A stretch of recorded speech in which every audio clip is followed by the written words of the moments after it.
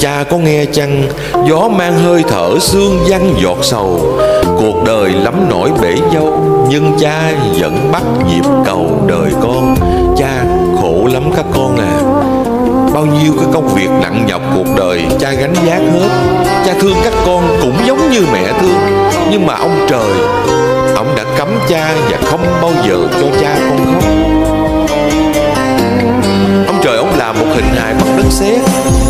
Rồi hình hài bên đây ông cho khóc. Còn hình hài bên đây Ông nói với thần núi, Ông hãy đem viên ngọc trong núi Để nhét vào trong trái tim của của cái hình hài này. Và đặt tên cho cái hình hài đó là người cha.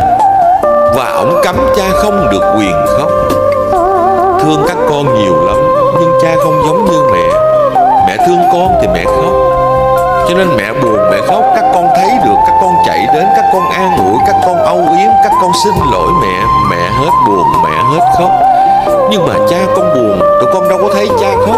Cho nên tụi con không bao giờ so được cái nỗi đau của cha Không được làm dịu cái nỗi buồn của cha. Cho nên ở dưới quê Mỗi lần mà cha thương con Cha nhớ con Không giống như mẹ. Cha thương con, cha nhớ con Mỗi lần cha khóc, ông trời ông cấm không được khóc trước mặt vợ con. Cuối cùng rồi cha của mình chạy ra bụi chuối sau hè Ngồi dưới bờ ao nhìn xuống nước trong bờ ao. Rồi cha ngồi cha khóc một mình. Hoặc là ở trên thành phố Cha buồn quá, cha nhớ con quá Nhưng mà cha không được quyền khóc trước mặt con và vợ. Cho nên cha đạp chiếc xe đạp ra ngoài công viên Rồi cha ngồi trên băng ghế đá lạnh buồn. Cha ngồi cha khóc.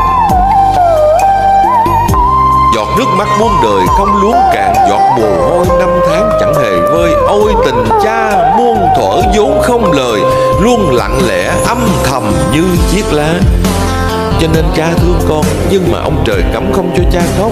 Cho nên rồi tụi con ơi, Có đôi khi tụi con giận cha của mình một cách vô cớ. Từ đây trở về sau, Thương mẹ mười, Thương cha cũng mười. Đừng bao giờ giận hờn cha nữa. Đừng bao giờ nói rằng tại sao cha khó quá. Đừng suy nghĩ như vậy. Bởi vì ông trời đã nhét viên ngọc vào trong trái tim của cha, Cho nên làm cho cha cảm giác như lạnh lùng. Ông trời cấm không cho cha khóc, Cho nên chúng con tưởng chừng như cha mình quá nghiêm khắc các con à. Hiểu không? Chứ thật sự ra cha vẫn thương con nhiều lắm đó. Cho nên từ đây trở về sau, Tụi con thương cha mình nhiều, Thương mẹ cũng nhiều. Thương mẹ bao nhiêu, Thương cha cũng bao nhiêu.